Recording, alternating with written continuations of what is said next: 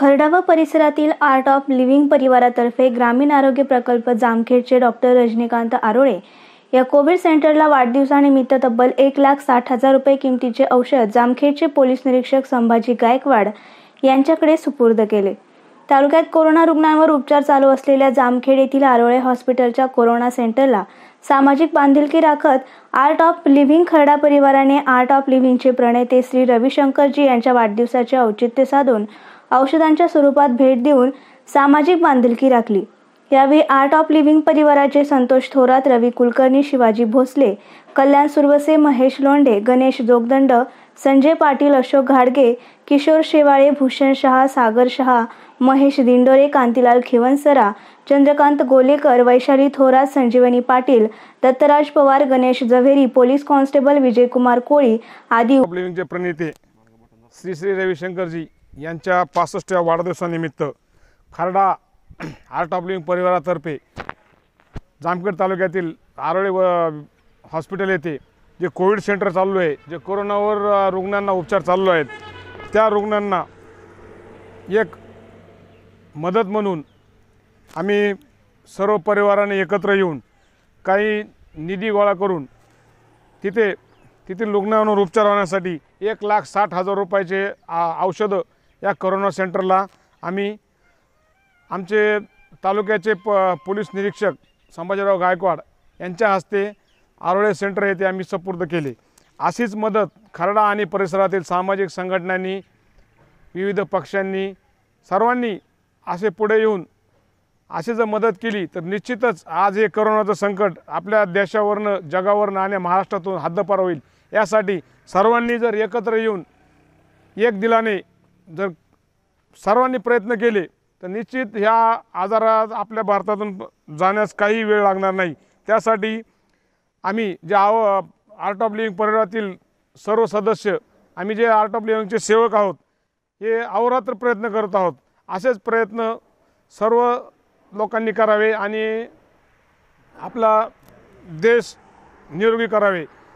आणि या निमित्ताने सर्वांना सांगण्यात संदेश देत आहे की आपण रोज योगासने करावा प्राणायाम करावा ध्यान करावे चांगला आहार घ्यावा आणि सोशल डिस्टन्सिंग पाळून तोंडाला मास्क लावून सर्वांनी आपले स्वतःची बरोबर कुटुंबाची काळजी घ्यावी एवढाच सांगतो. आपण श्री श्री रविशंकरजी यांच्या वाढदिवसानिमित्त इथे जमलेलो आहोत. गुरुजींना प्रथमतः माझे वाढदिवसानिमित्त खूप खूप शुभेच्छा. आणि खरडा आर्ट ऑफ लिव्हिंग परिवाराने जसे औषधाची मदत आरोळे हॉस्पिटलला केली तसे तशीच मदत सगळ्यांनी करावी ही माझी इच्छा आहे. आर्ट ऑफ लिव्हिंगचे प्रणेते श्री श्री रविशंकरजी महाराजांचा आज वाढदिवस. या वाढदिवसाचं औच औचित्य साधून जामखेड तालुक्यातील खरडा या उपनगरातील जे आर्ट ऑफ लिव्हिंगचे साधक आहेत. ह्या लोकांनी एकत्र येऊन जामखेडमधील आरोळे हॉस्पिटलला जे मदतीची गरज आहे त्या अनुषंगानं त्यांच्याशी संपर्क साधला. त्या ठिकाणी तालुक्यातून म, भरघोस मदत मिळते अन्नधान्य देत आहेत लोक. आणि मात्र जे प्राथमिक गरज आहे औषधाची त्यांना ती आवश्यकता आहे हे लक्षात घेऊन हे आमच्या सर्व साधक बंधूंनी आणि भगिनींनी आमच्या या ठिकाणी एक लाख साठ हजार रुपये इतकी मोठी रक्कम जमवली आणि त्या रकमेचे फार मोठ्या प्रमाणात औषधाचा साठा त्यांनी खरेदी केलेला आहे. आणि आज रविशंकरजी महाराजांच्या वाढदिवसाचं औचित्य साधून ते आरोग्य हॉस्पिटलला दान देत आहेत. मी त्यांच्या या उपक्रमाचं अंतकरणापासून कौतुक करतो आणि त्यांना खूप खूप शुभेच्छा देतो. आज त्यांनी या ठिकाणी मला बोलवून माझाही फार मोठा आदर सत्कार केला. या कार्यक्रमात सहभागी व्हायचं मला त्यांनी ब- एक संधी दिली. त्याबद्दल पण मी त्यांचा आभार मानतो. या ठिकाणी श्री श्री रविशंकरजींचा वाढदिवस हा खरडा म्हणजे जामखेडे ते आरोळ सेंटरला गोळ्यांचं वाटप करून साजरा करण्यात आला.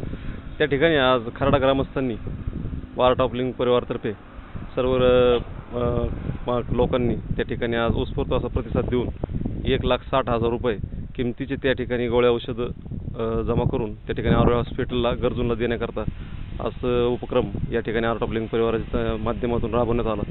आणि त्याला जो लोकांनी प्रतिसाद दिला त्याबद्दल सर्व लोकांचे मनपूर्वक आभार.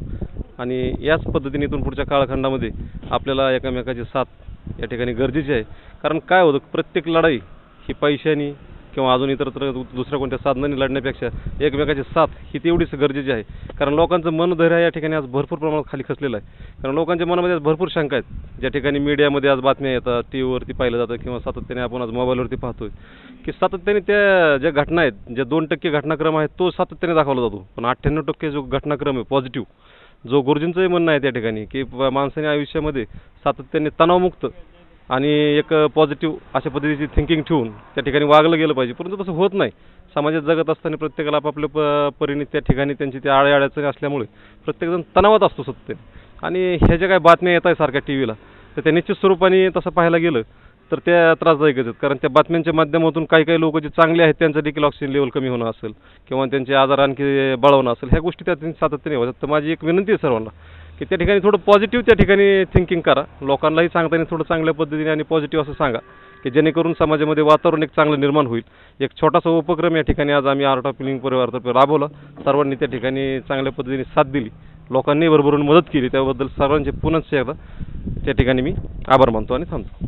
प्रतिनिधी गणेश जव्हेरी मायभूमी न्यूज जामखेड.